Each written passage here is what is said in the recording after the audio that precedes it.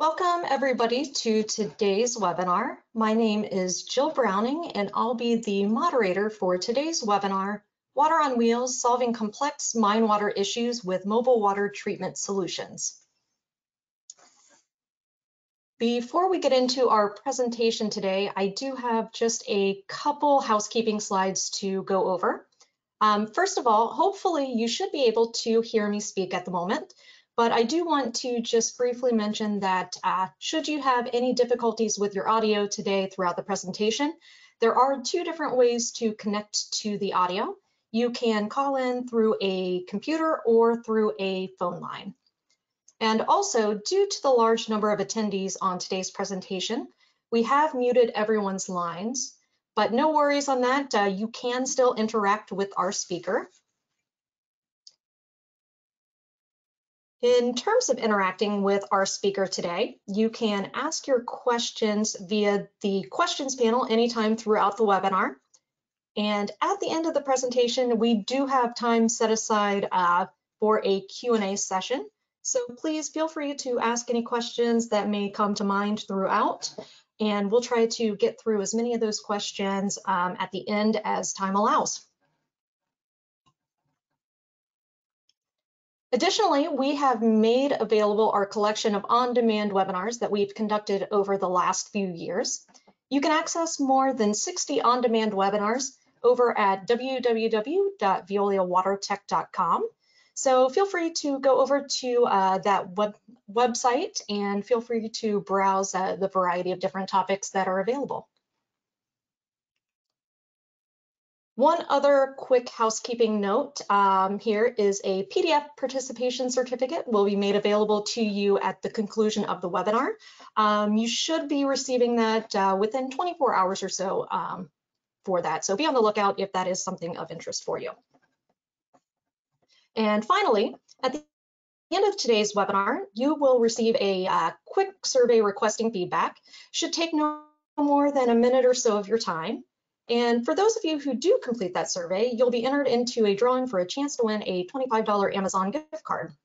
So if you would be so kind as to fill that out for us, uh, we do greatly appreciate it.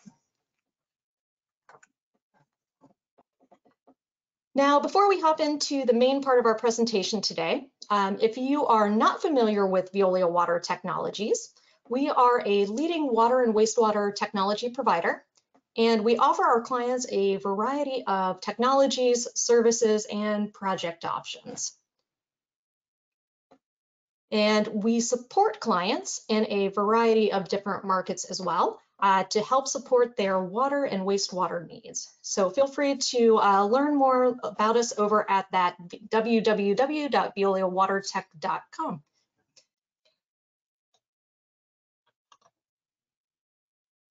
And now I'd like to introduce our speaker for today's presentation. David Oliphant is Vice President of Heavy Industries for Veolia Water Technologies. He is the North American market lead for the mining sector and is part of the global account management team for Veolia's mining sector. David has uh, 30 years of water treatment experience with the last 20 years with Veolia. So with that, I'd like to now turn uh, the presentation over to David. All right, Jill, thank you very much. And uh, thank you to everybody that's attended today. We really do appreciate your time. We understand how busy everybody is. And uh, so again, thank you uh, for taking the time today to understand about what Veolia can do for wastewater applications in mining. So what we're gonna touch on today, why should you consider uh, mobile water treatment uh, for your mine water application? We're going to touch on the various technologies that we have within our fleet, look at some various applications. Going to focus a lot of time uh, looking at case studies uh, that we've performed in the past here across North America. And then, of course, saving some time for any questions uh, that you may have. And, and uh, I really do hope we're able to get to all the questions that we receive. So again, let's uh, get this started. So why should a mine consider mobile water treatment? We look at a few areas. Number one, with a lot of startups, we do see the opportunity for our clients to defer capital costs, shifting you know, some of the expenses to an OPEX versus a CAPEX uh, purchase. We also look at deployment flexibility, looking at areas where if you need to get something in quickly, um, you know, whether it be seasonal uh, for augmenting existing systems that are currently there, really that has a good play for, for getting a quick deployment or adding on to existing uh, treatment strategies that you currently have. Also regulatory requirements. When we look at regulatory requirements, looking at putting mobile systems on site today doing some treatment, whether it be uh, dewatering of, of mine shafts, uh, dewater, dewatering of a historical mine workings. Um, this can help in regulatory requirements and speeding up because not only are you doing that dewatering, but you're also gaining a lot of data um, for regulators that they can review as you're continuing to do that treatment.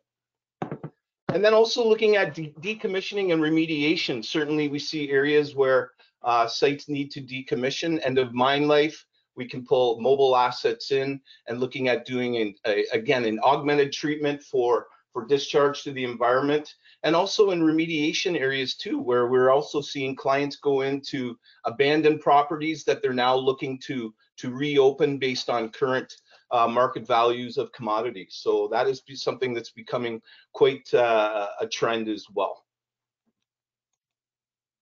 So looking at deferring capital costs, you know, really the big takeaway here is when you're doing a startup of a new property, we often see looking at going to an operational expense versus a capital expense.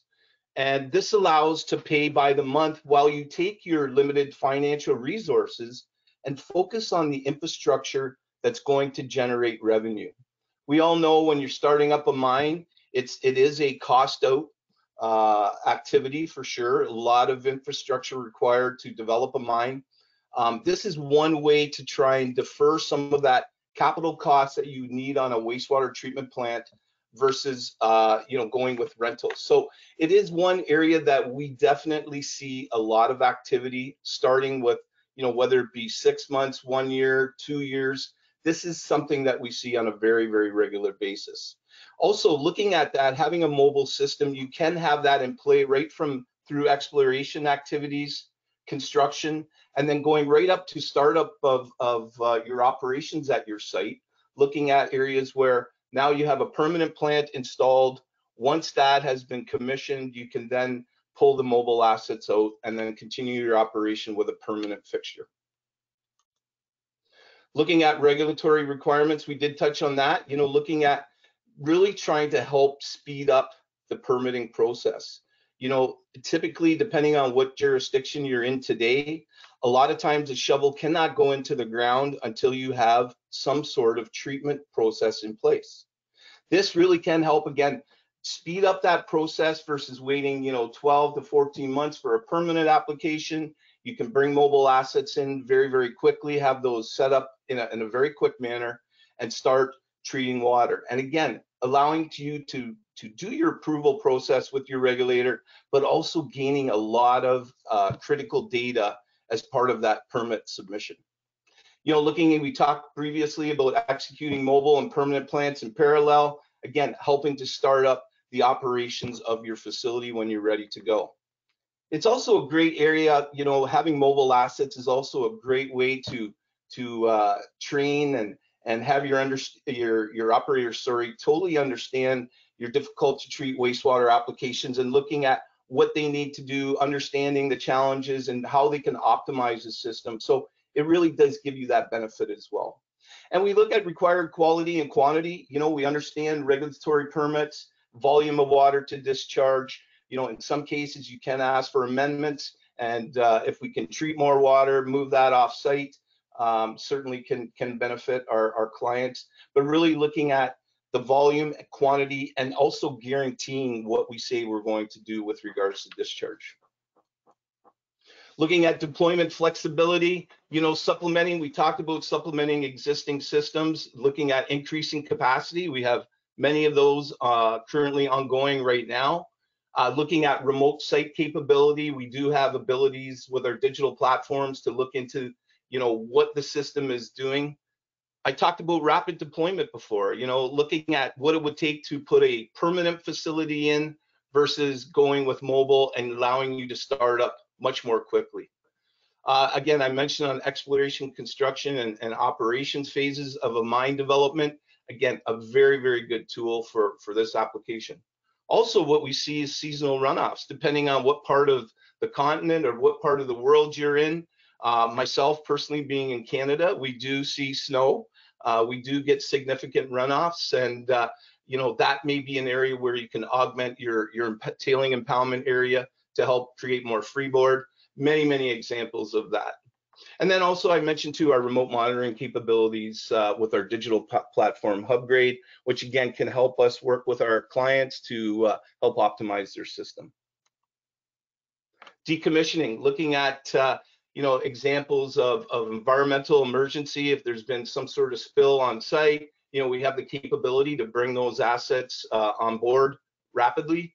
Um, also looking at redeploying of assets at, in different areas of the mine site. If you're looking at end of mine life, or if you've seen some changes in various water pools in, in different areas of the site, we're able to redeploy those assets and move those into various locations across your mine site you know, talk about light infrastructure approach. So when you're looking at a mobile application here, you know, it's much easier to demobilize um, a system if you do have a short mine life, um, put in temporary buildings, uh, you know, tamped gravel floors, and we'll show you some examples of that, that that's being done today. So again, a much easier demobilization at end of mine life versus having large, you know, uh, fixed infrastructure to remove at end of mine life.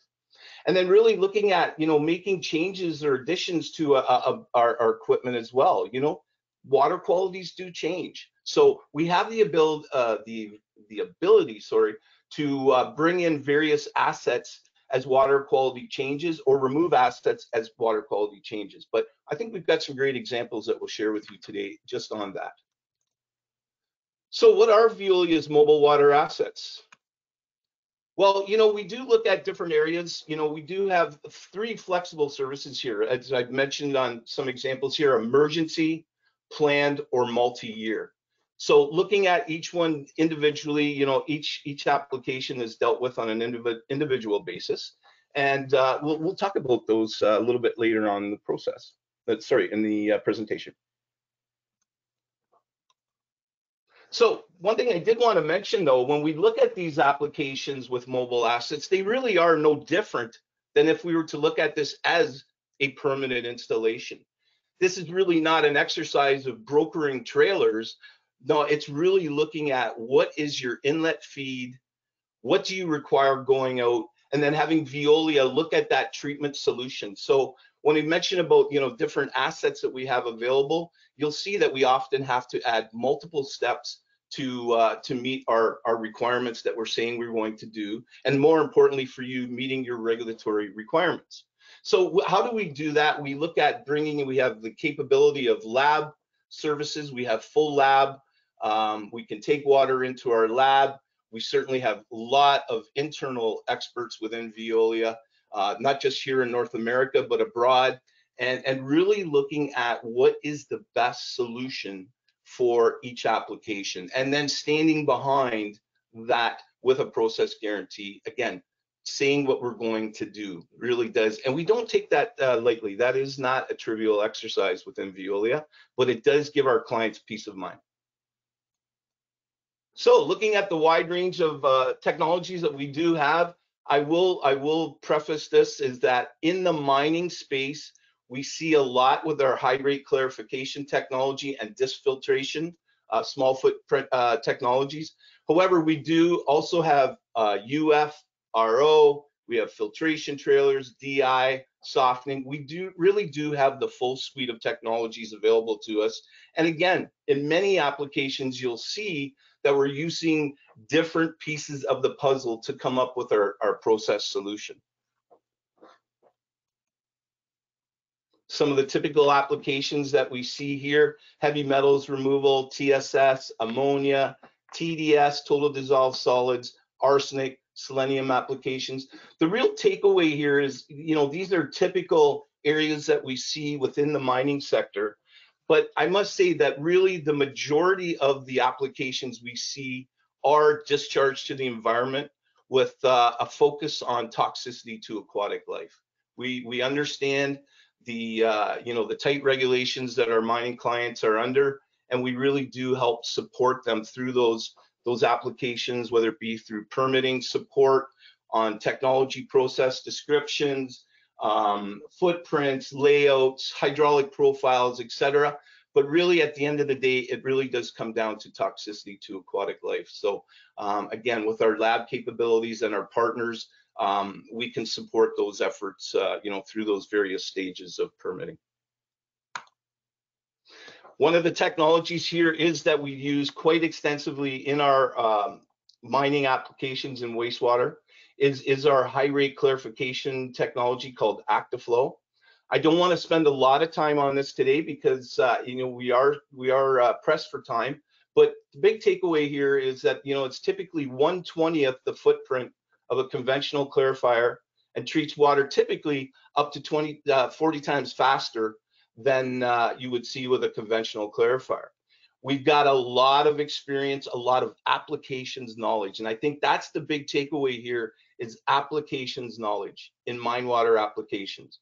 You know, you can see high rate clarifiers out in the field, but I think with the, the number of years that we've been applying this technology in mine water specific wastewater applications, we know the good, the bad, and the ugly, and we're, we're very pleased to share that with our clients.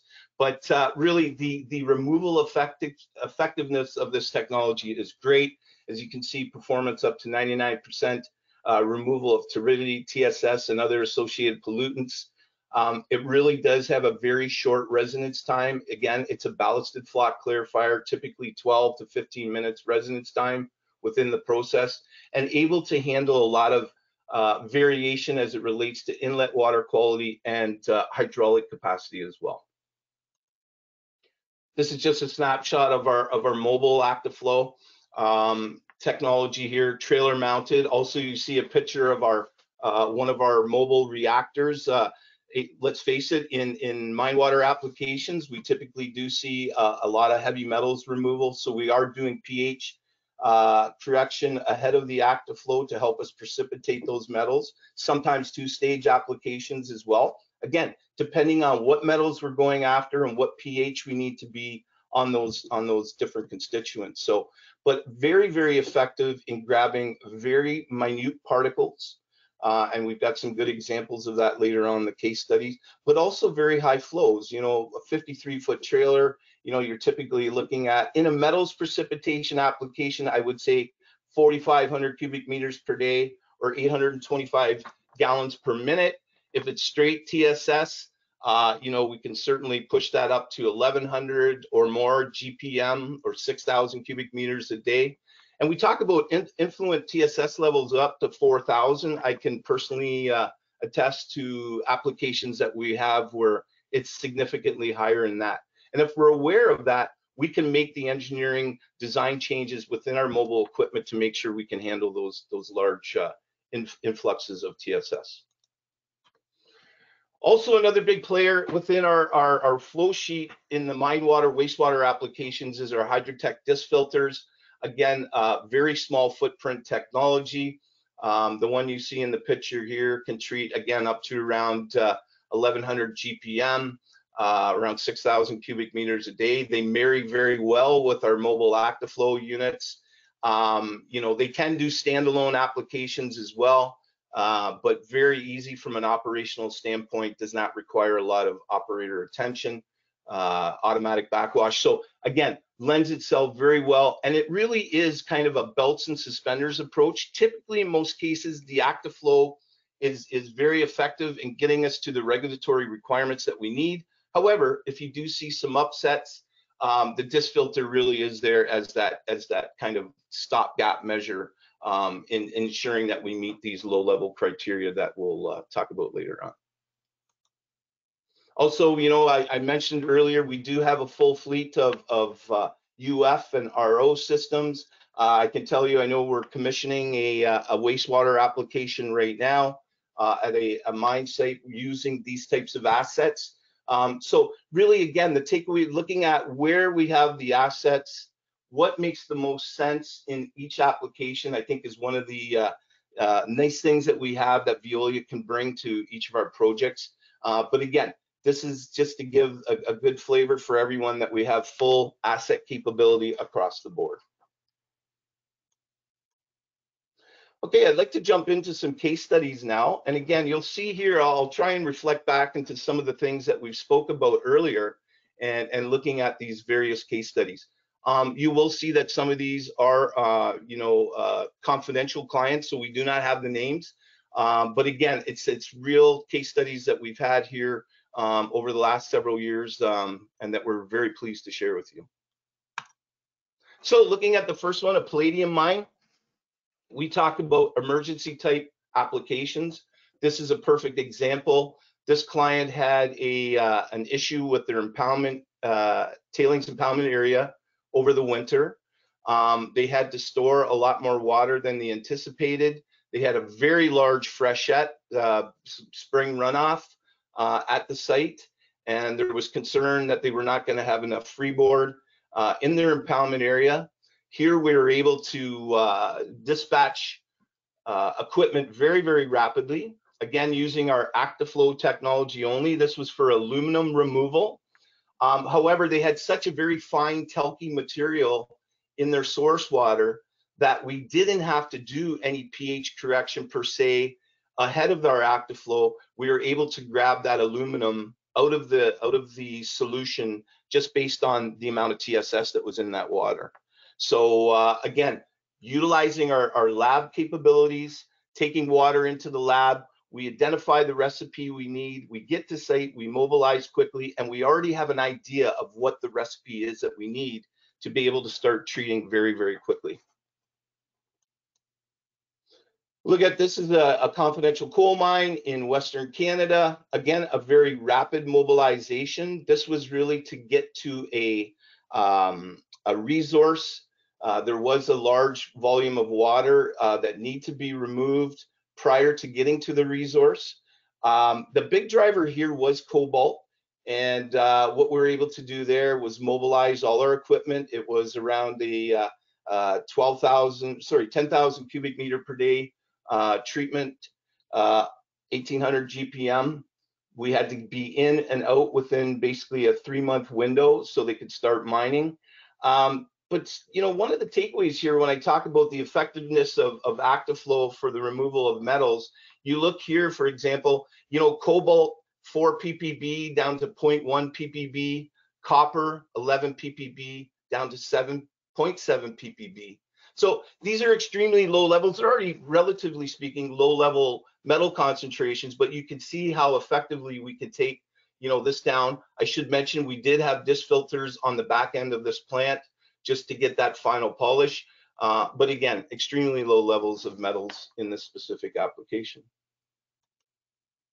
We look at a planned application. Uh, this was a uh, this was a a, uh, uh, a, a nickel ore spill uh, that had sat in an area on a actually it was a rail spill sat in the environment for many many years. What had happened is this ore had you know, basically created acid mine drainage. It had it had uh, affected local uh, surface water uh, and soil. And Veolia was able to come in working with our partners to uh, bring in mobile assets in a very, very tight footprint, I should mention. It was an abandoned rail bed, so not a lot of space. Uh, but again, treating water down to extremely low level metals. If you see some of the applications here, you look at zinc, you know, basically going from, uh, you know, 960 ppb down to 3.5. Uh, copper looking at 120 ppb down to uh, uh 1.2. Uh, aluminum, again, you see 970 micrograms down to 22. So again, the big takeaway here is looking at where we can take low level metals applications. We've got a lot of experience in dealing with these types of, uh, of low level, level metals applications. Okay, this was a complete turnkey as well that we uh, uh, supplied all chemicals, um, operations, mob, demob, And also we did have uh, remote monitoring on this plant as well.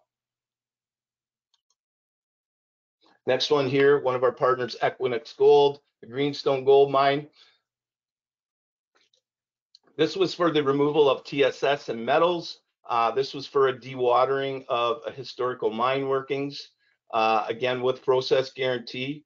Uh, this was a very interesting, and one of the things I just wanted to bring to your attention, if you look at the, uh, uh, when I talked earlier about um, light infrastructure, this is a great example. You can see it's a temporary building. You see some of the guards, you know, our wood guards, all done very, very professionally. But again, using the term late infrastructure, if you look at the floor as an example, it's not a concrete pad. It is a tamped gravel floor, again, as long as it's uh, level. So again, this is an area where a site can be mobilized very, very quickly. If you were to build this as a permanent facility, um, you know, you could be looking at 12, 14, 16 months. You know, here we're able to mobilize a plant, you know, within several weeks versus, you know, several months. So, uh, you know, that plant is now decommissioned and there is a permanent facility now um, treating uh, on a permanent basis. But you're also seeing a lot of variation in this feed water. And again, really looking at the equipment we have, it's really the building blocks. And then if we do see variations in in the uh, in the feed water. I hear we've seen a lot more organics than we had seen when we were doing doing sorry uh, preliminary uh, testing in the lab. Uh, we're just able to change our, our chemistry versus having to change any equipment that's on site. And you can see here as a plan, this was a 14 month uh, operation. This is another gold mine. This is an interesting project because here it's a hybrid of having mobile equipment for the removal of TSS metals and arsenic, but then also we had uh, built a permanent moving bed bioreactor biological process for the removal of ammonia and other nitrifying contributors that we see often at gold mines, uh, thiocyanate, cyanite, cyanates, uh, and some other cyanide species. So again, combining a permanent facility with mobile assets um, to uh, to meet the the regulatory requirements of not just the ammonia levels but also metals and TSS. Um, we are still operating at this site today um, with these mobile assets and, and, permanent assets. Okay, this is uh, so far has been a two-year operation, uh, around a thousand GPM for treatment. Um, and again, we've seen a lot of changing water quality at this facility but being able to, you know, handle that through chemistry. This is a nickel mine up in northern Quebec. Uh, this was a, a, rather unique application for me personally. Uh, I do remember this one from the standpoint of the removal of thiosalts, and, and it's something that I had not seen uh, in uh, a lot in in my mine uh, water treatment experience. So this was a very interesting application. And I think one of the key drivers here was, you know, we know how to treat thiosalts, and we had some different options. But really, the takeaway on this was looking at where do we bring uh, assets in from. So looking at, you know, trying to bring, you would think that make the most sense to bring assets up through North America, which we did have.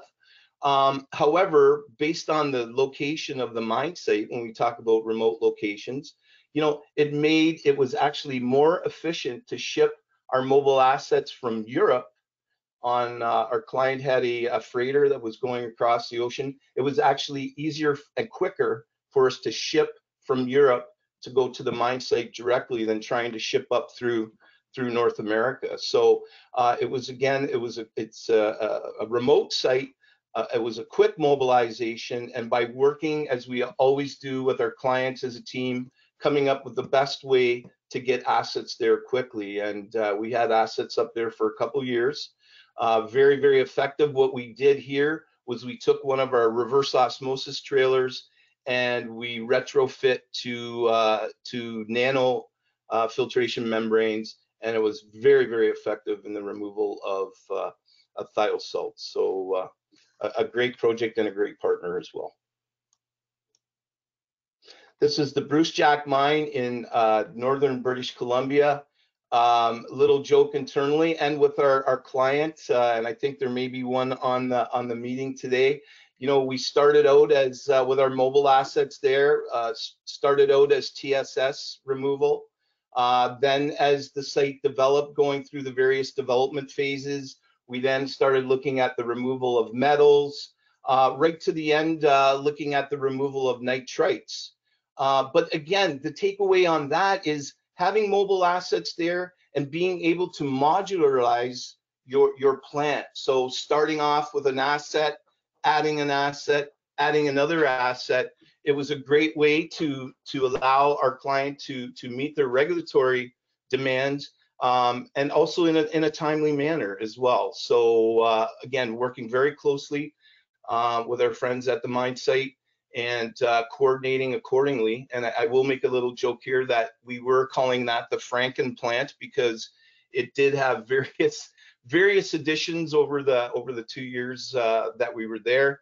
But again, uh, a successful project, and I'm very proud to say that we uh, you know worked with our client to uh, install a permanent facility that is still operating today. So uh, again, flexibility, I think looking at these multi-year type applications, uh, emergency or planned, you have the ability to be able to, to uh, um, remove, add, reconfigure assets as we see fit and as water quality uh, requires. This is a titanium mine in Quebec. Uh, right now, we're, you know, we've done a two-year treatment uh, application here. We've just extended for another three years. Um, so this is a great example of a long-term type application. It's for the removal of nickel. Um, and one of the interesting things here is that based on the uh, permit that our client had, they really asked us to to look at uh, using their their chemistry uh, that's currently on site and that was permitted. So here we're operating the facility without uh, a metallic uh, coagulant, uh, been able to uh, treat there now for, like I said, over two years, uh, being very successful project. But again, being able to take water into our lab, you know, before we can say, yes, we can do this, we have the ability to bring in the mine water, test it based on the chemistry they have on site today, and then verify and confirm and give our clients the confidence they need um, to allow this equipment to come on site. So again, uh, still operating today and uh, a very, very uh, interesting project. We're getting close here to the end, but this is another application. This is not so much a mine site, but maybe for mine derivatives. You know, this is a, a, dredging application in a harbor here in Canada, in Ontario. Um, there was a large containment facility that was built in the middle of the harbor. This was in, this was uh, dredging sediment that had been impacted by um, uh, coal gasification plants over the 100 years that had been dumped into this harbor uh, steel making processes, etc. So a lot of industrial pollution. Uh, there, what we've done is uh, removed all metals, PAHs, like highly contaminated sediment. We're taking all the water off the uh, the containment facility and sending that back into the lake. The, the, the message I want to leave here is that this is a what we would call a high volume type application. Um, these assets now are actually redeployed at a mine site, uh, at a gold mine right now, um, probably due to come off site uh, near the end of August. But we do have that capability as well of looking at not just having you know high rate clarifiers on wheels, uh, reactors, uh, UF, RO, DMIN, but also these large volume metals precipitation plants as well. This one's rated for say 20 to 24,000 cubic meters per day. The project that I'm referring to here, Randle Reef, 16,000 or 3,000 GPM, but we have the ability um, to push much more flow through that plant. So, you know, we do have those types of capabilities as well as part of our mobile fleet. Whoops, sorry. So just to wrap up, when is it to uh, a good advantage to rent versus buy? I think you know, looking at it from an operational budget, you know, looking at just deferring, you know, minimal capital expenditure right out of the gate uh, is is one area that we see. It is a definite trend in the mining sector that we see today, um, and you know, our ask the, the the demand on our assets is is good proof of that. Um, also looking at, you know, looking at managing the short-term intermittent, intermittent needs through, uh, you know, the exploration, construction, and operational phases gives you a lot of flexibility. Also gives you a lot of data collection, understanding your water you need to treat, and then also looking at helping to shorten the the time required for for permitting. You know, regulators love to see, you know, show me the proof, show me this works. This is a great way to say, here's the proof we've been treating, you know, with this technology, uh, and also helps permits, speed of permits, again, as they are very familiar with the technology. I mentioned before, it, the opportunity to train operators. It's great. You know, yes, we typically do operate these plants, but we often have, you know, um, client operators that will shadow our, our people. And I think we've got some great examples of that over the years. Um, looking at multi-year, you know, you can, if you have a short mine life application, maybe it makes sense to go with mobile assets versus building a permanent system that you need to demobilize. Again, if you look at short mine life, you get off site, maybe you redeploy those assets somewhere else at end of mine life, or they pulled completely off site. You have that flexibility. I think the big thing I wanted to end this presentation with is, you know, we look at these mobile asset applications just like we would with a permanent plant. So we're looking for data, raw water in, what do you need out? What's your permit allow you to discharge at? And then looking at what needs to be done and then how we configure that plant. It really is the same process that we would do for a permanent facility, but certainly done under a much quicker time frame than you would with a permanent plant. So uh, with that, I will end my presentation and ask Jill if we've seen any questions that have come through. Yeah, thank you very much for that very informative presentation, Dave. And I do have some questions that came in. And just to remind you as well, um, if you have any questions as well, feel free to type those over in the um, questions panel. So with that, we will kick off our Q&A um, area. Um, one question, Dave, that came in is, um, can TSS and heavy metals removal be done via, say, one through one typical unit, or do they need to have um, different equipment setups for each removal type? No, that, that, that's a great question, Jill. And the answer is that we can do that with a, a single unit. Um, TSS, we're going to grab uh, very effectively if we're looking at the Actiflo as an example. Um, we're going to grab that that suspended solids component, and then we look at what metals uh, we need to remove. And I think I mentioned earlier, you know, do you go one phase or two phase? So the answer to the question is typically yes, we can do it all in one phase. Uh, one Actiflo, of course, if it's TSS and metals, we will have a reactor there up front, uh, but a single Actiflo. However, that's depending, you know, on that. That's looking at metals that we're precipitating at, say, nine, nine and a half, ten. Uh, if you're looking at some other metals such as moly or antimony, uh, to that respect, then you know we may need to look at a a, uh, a second stage, as we say internally, to to capture those metals. But I'd say 90% of the applications are done with a single single process train. Great, thanks. Um, another, yeah, another question uh, here that came in is, uh, does Veolia offer buyout options if the rental exceeds a certain time period, such as uh, one year? Yeah, that that's I get asked that question uh, on a on a regular basis, and unfortunately, we do not sell our wheeled assets. Um, certainly, if we look at going to a permanent application, you know, working hand in hand with our clients, we will take into consideration that you know you've been working with Veolia for a year and and and we can make uh, we can have some discussions from that standpoint. But typically, we do not sell our our, our wheeled assets uh, uh, to the state. Okay, another one that we've got here is um, how do you decide what's the best technology for a specific application? I think really looking at Jill is really looking at what is, are the the effluent requirement regulations. You know, every jurisdiction is different. Uh, every site has its own challenges, receiving bodies. Uh, you know, there's so many different things that go in, and and really, I think um, working hand in hand again with our clients, understanding the requirements, uh, what regulatory pressures they're under, and then looking at what makes the most sense. So we're able to model um, a lot of our solutions internally and then look at that as to what makes the most sense because you know you can look at clarification and filtration. You can look at you can look at membrane applications ion exchange. They're all great technologies but then you have to start looking at what do i start doing with you know what's my residuals management plan? You know looking at uh, we're looking at membrane, uh, what do I do with the reject? Uh, IX, same, you know, so there's all those parameters that we want to uh, look at, but it really, I'd say the biggest driver is what is the effluent requirements you need to meet at your specific site that will drive us to the technology. Great.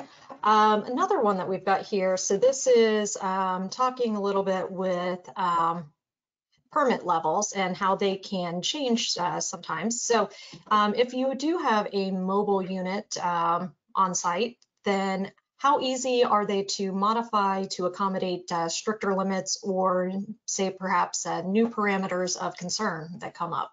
That, that's that's a great question, and and we do see that, and and again we can we can speak from experience, you know. So yeah, we do see changing water, and we do see where clients have had changing permit requirements as well. Typically, typically the the building blocks that we'll have there on site for you know a typical metals and and TSS, arsenic, whatever it may be, removal application. In many cases, when the regulations change, say they become more stringent, nine times out of 10, we can, we can treat that by just changing our chemistry, okay? Now, that's not all the time. And we've got good examples where, okay, now it's, we're going from this PPB level to this PPB level.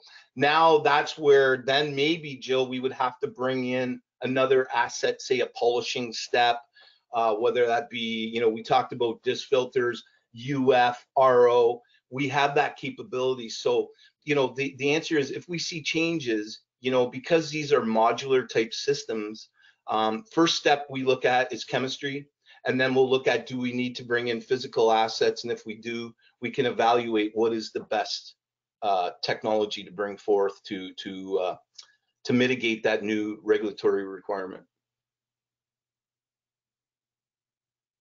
Okay, um, I've got another one here um, regarding TSS and um, sometimes um, silt, and it's a question regarding how to remove silt.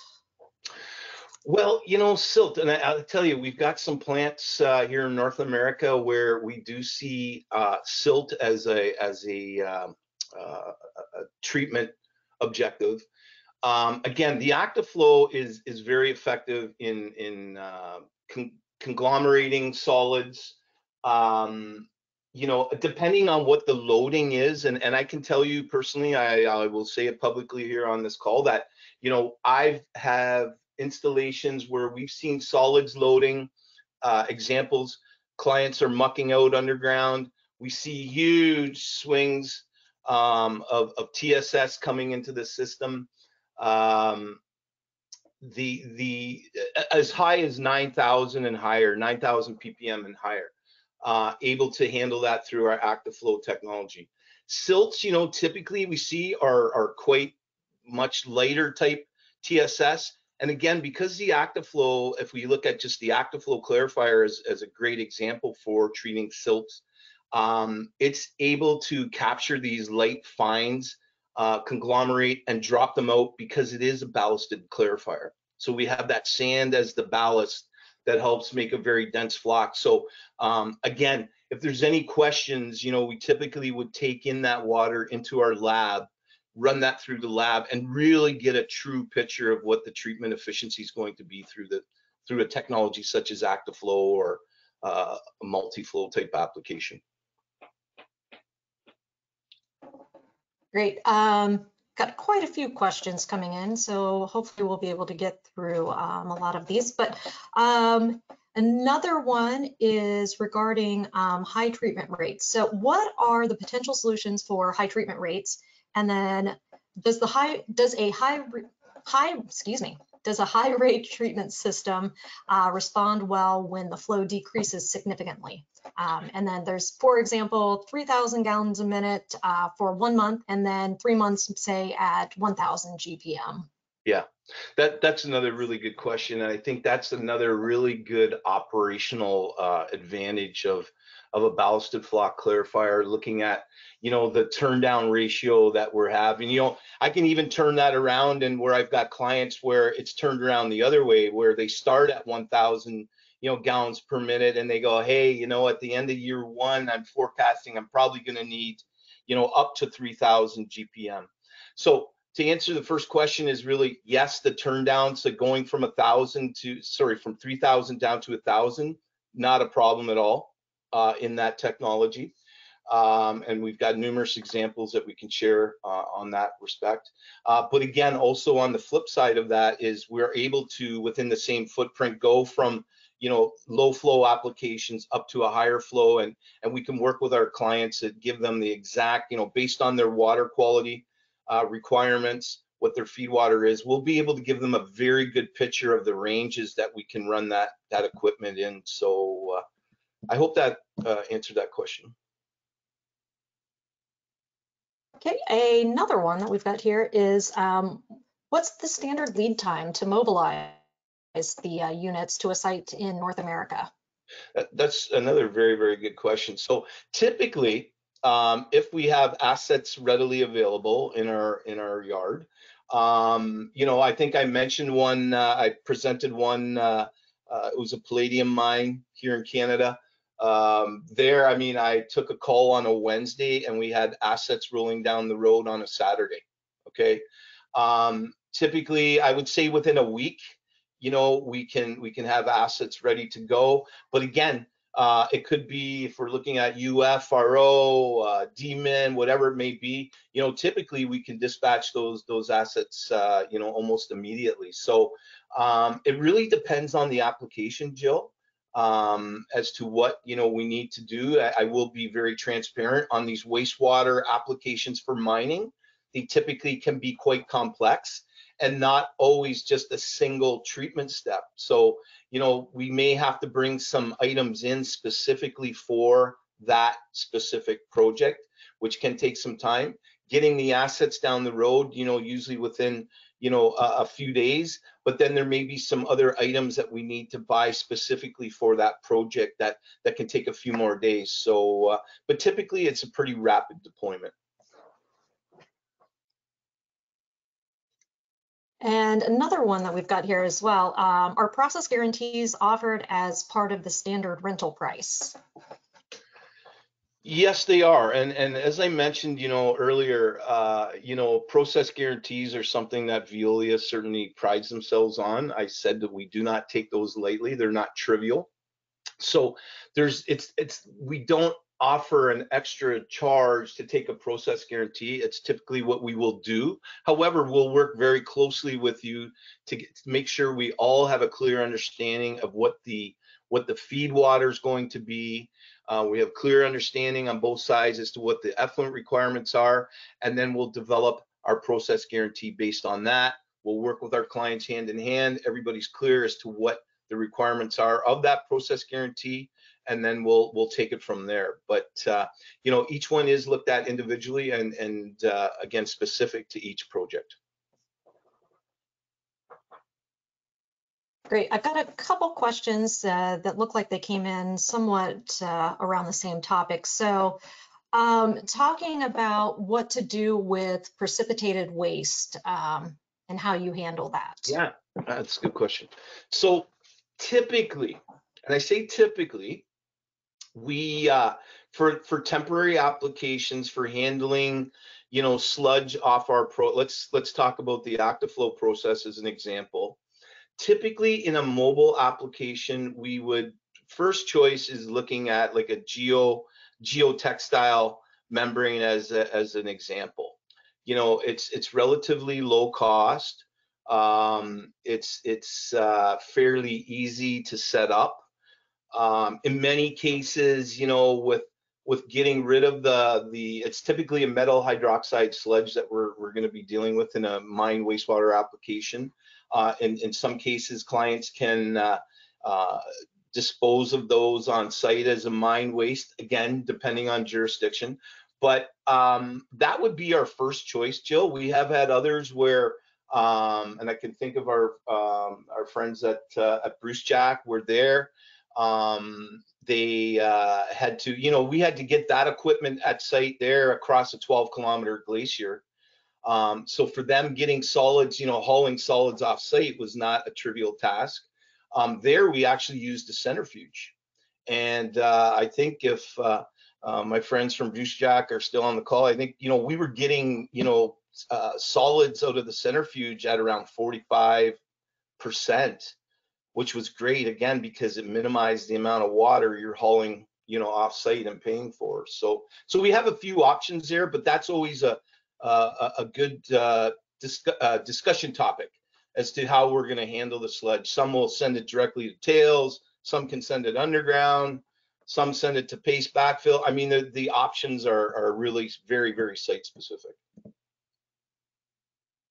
Great. Um, I think we've got enough time for maybe a couple more questions here. Um, do you have a do you have a certain pollutants limit of receiving water? pollutants limit, like a max of what I'm feeding to the plant, pollutants.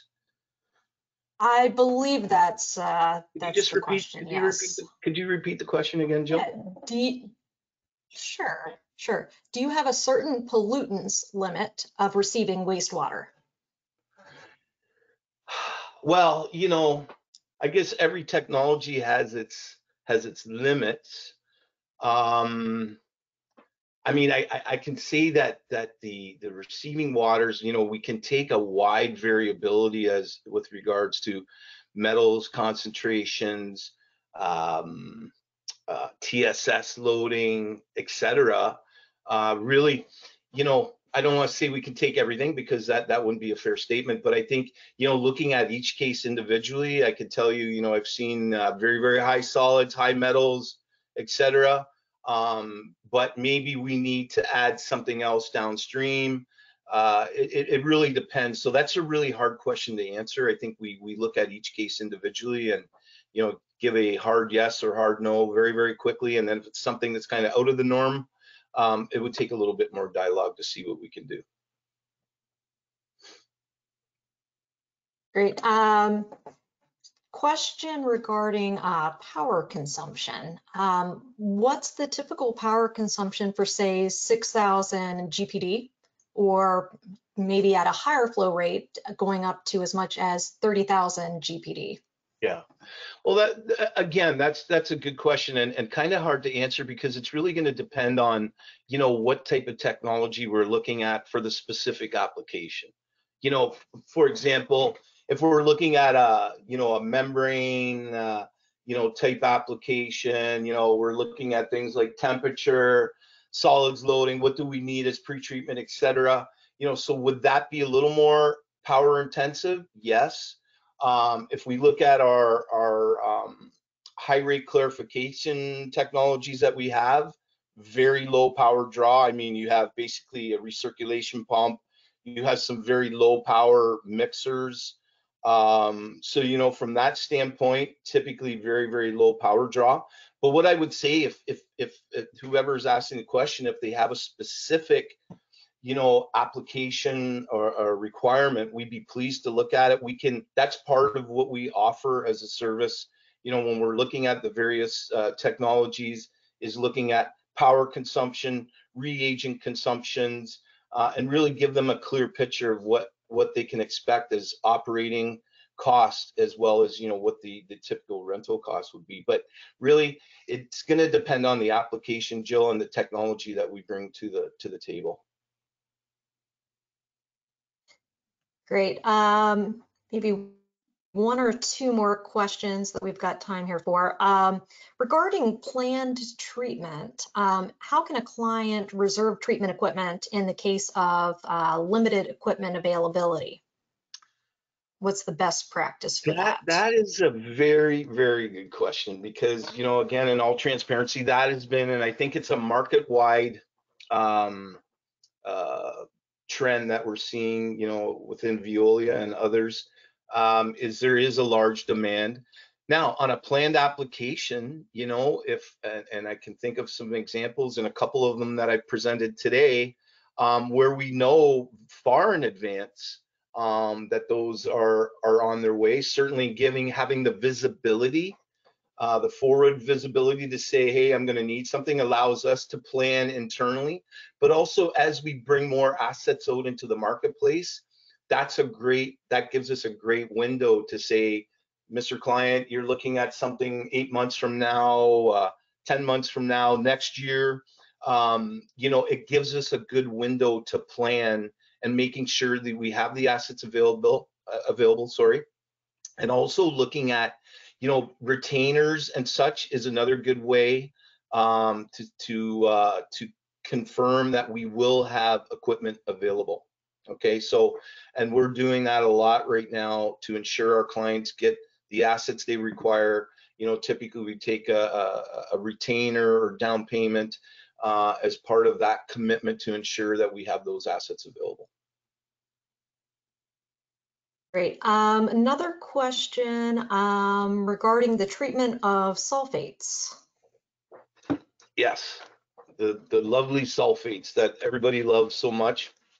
Um, typically, you know, on a mobile application, again, there's there's various ways that we can look at that. I think when we look at from a mobile standpoint, um, you know, can we look at a biological approach? Typically in mobile, not so good. Um, I would say looking at RO as, as an example, look at a membrane-based application for sulfate removal. But again, we really need to understand, you know, what the influent feed water is, what the requirements are for effluent uh, uh, discharge, and then look at, you know, what assets we could make available, whether it be nano, RO. Um, we would look at various options there because that is one certainly that we're seeing more and more of every day as well. Good question. I think we've got time for just one more question here. Um, this one's regarding uh, government or ministry approval. Um, how easy is it to get ministry approval um, to set up these mobiles at at a site? Well, I tell you, I mean, it really, you know, looking at, um, you know, looking at various jurisdictions where we've done work with Actiflo, whether it be, uh, I'm going to use that as my first example uh, where we've done treatment with that technology. So, you know, looking at, you know, regulators going, oh, yes, I know you guys have at, at this, at that site, that site, that site. You know, it's that comfort level. So I think that does help assist in, in pushing permits along. Um, I think also the support that we can give our clients. I want to be on the record we do not do permitting. I'm not trying to to take anything away from companies out there, consulting firms and such that do permitting. We would support those types of applications with, again, I think I'd mentioned in permitting support, process descriptions, uh, MSDS, uh, uh, layouts, hydraulic profiles, you know, kind of the supporting documents that would go into part of a permit. Um, typically, I think again, depending on the jurisdiction, it can it can go pretty quickly. I've seen times too where you know there's a pilot going on, but also having the opportunity to try and discharge some of that water as long as it meets the regulatory requirements. So that can help speed things along as well. So um, I think it really depends on the, the, the jurisdiction that you're in and and what your regu your regulator requires. Great. Thanks so much, David, for all of that. Um, with that, uh, we are coming up right on our time. So um, with that, uh, I do want to thank everybody um, that has attended today. And I apologize if we did not get to uh, answer your question. If, if that's the case, uh, we will follow up uh, afterwards directly with you as well. And again, feel free to uh, email any questions over if you come up come across anything um, in the future and would like a little bit more details on that as well, feel free to um, send us an email. And with that, that will conclude our webinar today. Um, do thank everybody, and we do ask uh, if you would be so kind to fill out that quick survey at the end. Um, it should pop up as soon as the webinar concludes. uh, we do appreciate that. So with that, uh, that concludes our webinar today. Thank you, David, and thank you, everybody. Thank you, everyone, for your time. Really appreciate it.